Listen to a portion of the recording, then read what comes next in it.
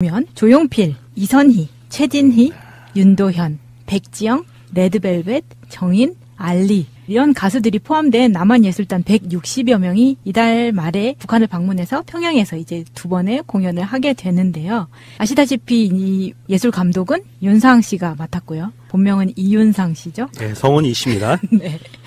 그리고 평양에서 남한의 예술인들이 무대에 서는 거는 2005년 조용필 단독 콘서트 이후에 13년 네. 만입니다. 이선희 씨의 제2에게라는 그 노래가 북한에서도 거의 국민 가요처럼 불린다고 하잖아요. 그때 홍광철 씨가 예, 여기 나와서 예, 부르셨을 때 되게 예. 좀 감동이 있었어요. 야, 근데 그 이선희 씨가 직접 가서 오리지널로 불러주면 정말 색다 남다를 것 같아요. 조용필 씨를 비롯해서 어, 알리까지 음. 쭉 명단들을 보면서 윤상 씨가 정말 제대로 골랐구나라는 생각을 안 할 수가 없는 게 이게 조용필 이선희 씨는 우리가 설명하지 않아도 사실 우리가 설명을 한다는 게 좀 조심스러울 정도로 대한민국을 대표하는 분들이니까 완벽하죠. 예, 완벽한데 최진희 씨 같은 경우는 중장년층한테는 또 색다른 의미가 있는 분이잖아요. 사랑의 미로? 예. 그리고 윤도현 씨는 그 한번 공연을 한 적이 있고 그리고 저는 제가 개인적으로 좋아해서 그런지 모르겠지만 백지영 씨 한국 사람들이 어떤 감성을 좋아하는지를 대표하는 사람이라고 생각하거든요. 한국식 발라드. 예. 그러니까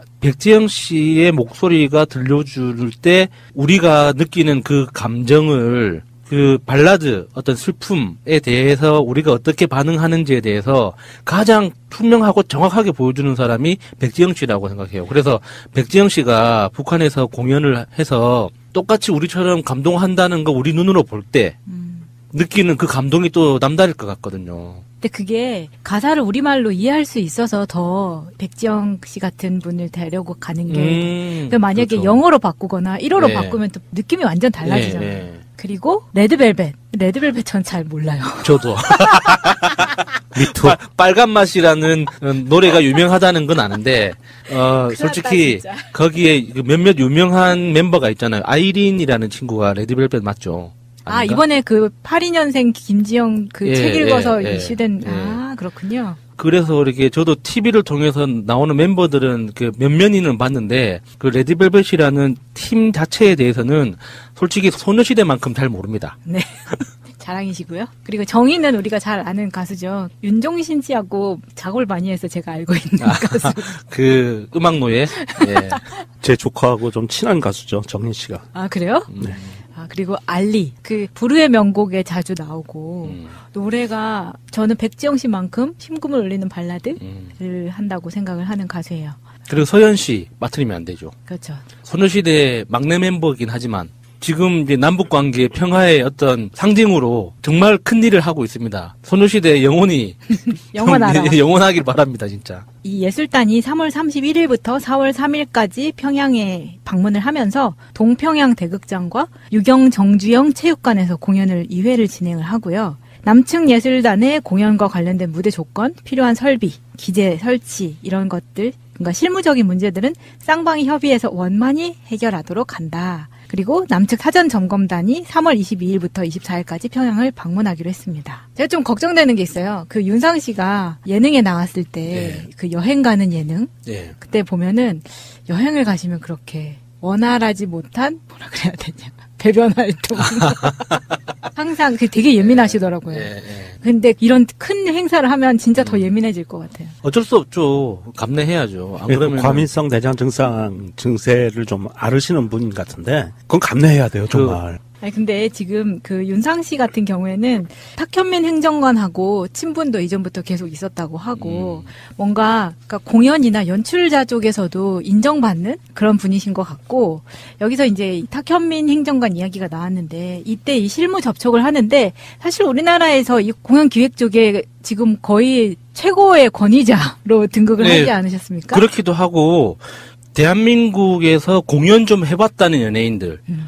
그러니까 뭐 아이돌이든 중년 가수든지 간에 누구든지 상관없이 무대 장치를 해서 콘서트 좀나좀 해봤다라고 하는 사람들 중에 탁현민 씨가 모르는 사람이 없을 거잖아요. 네. 그러니까 예술단으로 가는 연예인들 입장에서는 탁현민 씨가 중간에서 중재를 하는 게 굉장히 편하죠. 그러니까 총 감독은 윤상 씨가 총괄 지휘를 하지만 그 나머지 이제 행정 처리나 이 정부 측하고 또 커뮤니케이션 해야 되는 여러 가지 문제들이 굉장히 많잖아요. 그럴 것 같아요. 네, 그런데 이런 탁현민 씨 같은 분이 연예인들이 잘 아는 사람이 중간에 스태프로 들어가 있으면 굉장히 편하죠. 일하는 사람들 입장에서는. 청와대에서는 문화예술 교류 행사이지만 그 안에서 정치적인 아젠다들이 오고 가거든요. 이건 어쩔 수가 없어요. 우리 남북한 관계에서는 네.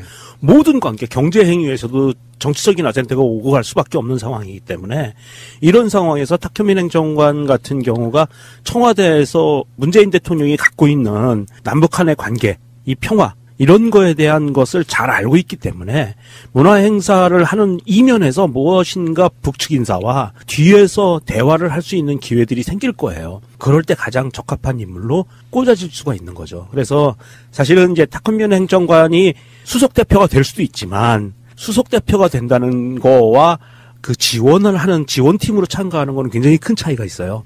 탁현민 행정관이 만약에 수석 대표가 됐다고 하면 움짝달싹할 수 없는 어떤 그런 스케줄에 매여요. 그런데 지원팀에 가 있다는 것은 탁현민 행정관이 뒤에서 북한 정부 관리들하고 만나서 조율할 수 있는 일들이 굉장히 많은 것을 다 아마 책임지고 하게 될 것 같고요. 그리고 문재인 대통령의 의중을 가장 잘 전할 수 있을 거고 맞아요. 그 시기 직전에 이제 뭐 고위급 회담도 열리고 4월 달에는 정상회담도 열리잖아요. 그렇기 때문에 그 마쿠 접촉에서 오고 가는 그 조율되는 상황들이 굉장히 많을 거고요. 그런 의미에서 탁현민 행정관이 이번에 좀 공연 기획도 도와주겠지만 그 마쿠에서 벌어지는 아주 예민한 부분들에 대한 조율이 잘 이루어질 것 같아요. 그리고 이게 탁현민 행정관이 청와대 행정관 들 중에는 가장 알려진 사람이잖아요. 사실 다른 행정관 분들은 섭섭할 수도 있겠어요. 탁현민 행정관만큼 고생하고 열심히 일하는 분들이 대부분인데 왜 탁현민 행정관만 이렇게 유명해지냐고. 다른 행정관들은 음지에서 일하죠. 말 맞다는 행정관이기 때문에 예. 행정관 정말 공무원 아니에요? 뭐 공무원이니까 행정 업무를 보는 거고 그러다 보니까 이름이 잘 안 알려져요. 아니, 그러니까 제 이야기의 취지는 그거예요. 그러니까 탁현민 행정관이 이번에 북한 공연 팀에 포함되는 건 어찌 보면 당연한 거거든요. 그러니까 의전팀을 대표해서 의전팀의 실무자로서 청와대 어, 정부를 대표해서 청와대가 주선한 정부 행사의 일환이잖아요. 그러면 당연히 그 의전팀에서 어떤 실무를 했던 사람이 포함되는 건 당연한 거예요. 사실 이렇게 기사화 될 필요도 예. 없는 일이에요. 예, 그러니까요. 네. 그러니까 저는 좀 그걸 좀 뒤집어서 말씀을 드렸었는데 이렇게 탁현민 행정관처럼 항상 숨어서 안 보이는 곳에서 일하는 분들이 전부란 말이에요. 그런데 항상 이런 탁현민 행정관이 정말 좋지 않은 계기로 이름이 알려지기 시작한 이후에 저는 언론에 이렇게 탁현민 행정관의 이름이 보일 때마다 걱정되는 거예요. 나도.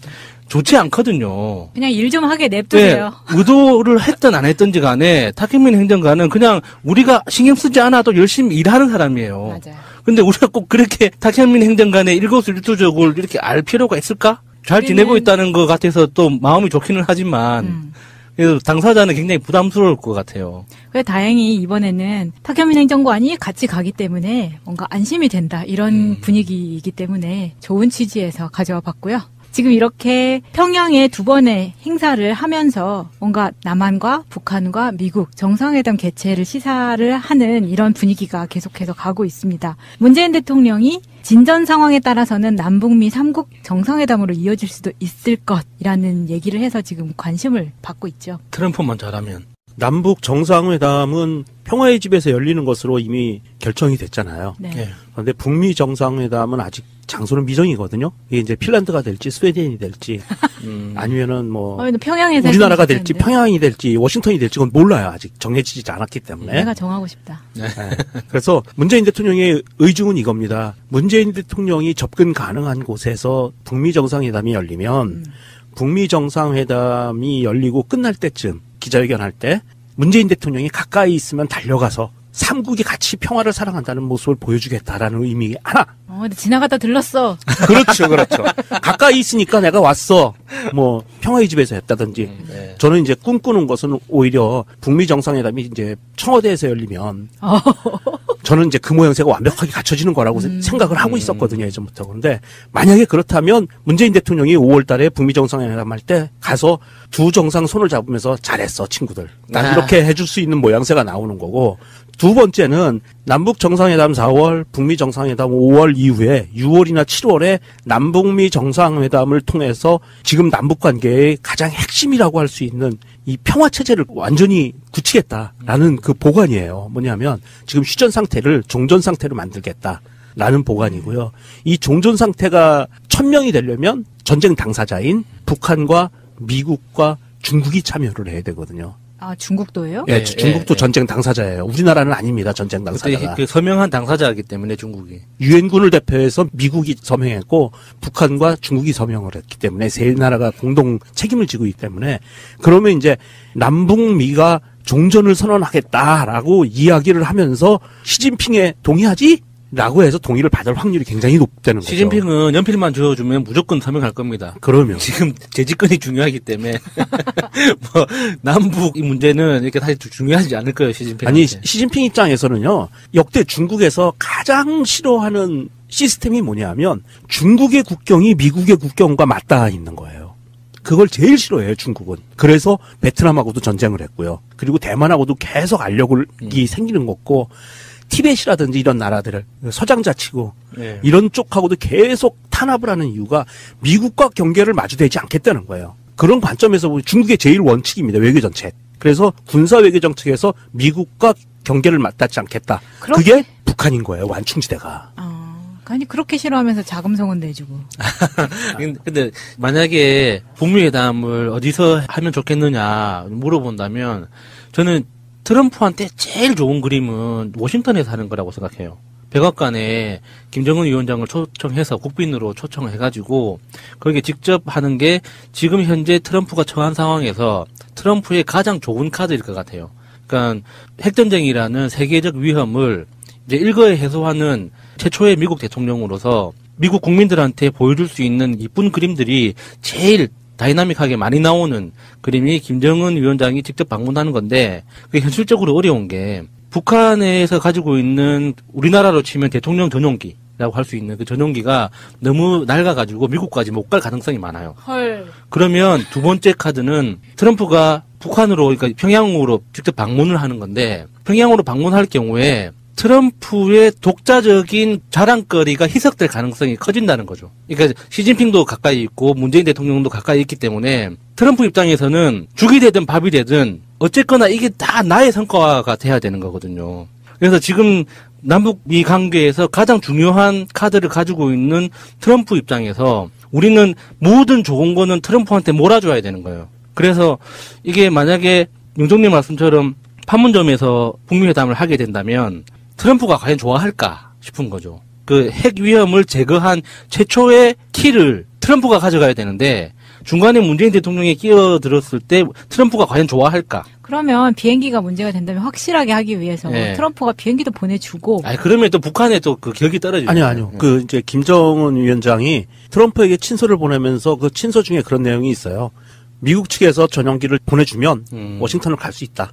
아, 라는 그런 제안이 있었어요. 그러면 워싱턴에서 아니, 하는 게 최고죠. 핵미사일은 개발하면서 비행기는 왜 그러는 거예요? 아니, 그러니까 그 돈까지 다 이제 미사일 개발에 쏟아붓다 보니까 그러니까 좋은 마음으로 이해해 줍시다 우리. 북한 예, 된 거. 북한 입장에서는 전용기가 그렇게 굳이 필요가 없는 상황인 거예요. 왜냐하면 북한이 외국을 나간다는 것은 중국과 러시아.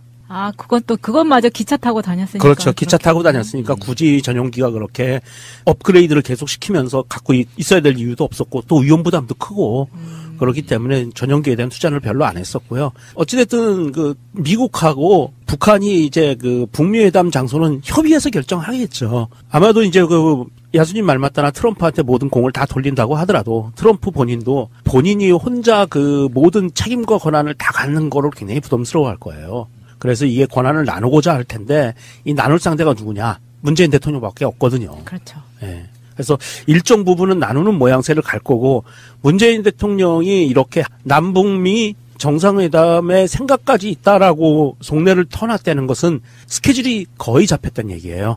우리는 그렇게 봐야 돼요. 그래서 최소한 4월 남북 정상회담, 5월 북미 정상회담, 6월이나 7월 남북미 정상회담, 그리고 곧 남북미 중러 그리고 일본까지 육자회담. 요 스케줄까지 올해 1년 안에 쭉 스케줄이 어느 정도 나오지 않았나. 저는 그렇게 생각을 하고 있고요. 아마 올해 우리가 대한민국이 만들어진 유래로 아마 가장 행복한 한 해가 될 수 있는 가능성도 높아요. 예, 저는 정말 큰 거 바라지 않습니다. 내년 이맘때쯤에 평양이나 금강산으로 놀러 갈수 어, 있으면 나도 좋겠어요. 놀러 가고 싶어. 근데 비싸. 아, 비싸더라도 그 정도는 투자할 가치가 있다고 생각해요. 저번 금강산 관광 때도 비쌌어요? 네. 아, 그래서 대부분 뭐 기업 중심으로 많이 갔죠. 어쨌거나 지금 이, 이 분위기로라면 우리가 통일이라는 어떤 막연한 그림을 중심으로 통일이라는 그 개념이 굉장히 막연한 거거든요. 근데 통일이 아니어도 좋다는 맞아요. 이 정도의 우리 마음속에 약간의 따뜻함이 있으면 금방 해결될 것들이 많다고 봐요. 네. 그래서 제가 진짜 바라는 건 통일 안 해도 좋아. 그냥 갈 수 있으면 좋겠어요. 맞아요. 네. 중국 연변에 가는데 기차 타고 연변까지 갈 수 있는. 괜찮죠. 예. 그 종전 선언에 대해서 제가 초등학교 때 정말 충격받았었던 게 우리가 아직도 휴전 중이라는 이야기였거든요. 그걸 아직도 초등학교에서 교육을 시킬 거예요. 우리나라는 38선으로 가려져 있고 전쟁이 끝난 게 아니라 잠시 휴전 중인 거다. 근데 그게 지금까지 온 거잖아요. 그거를 더 이상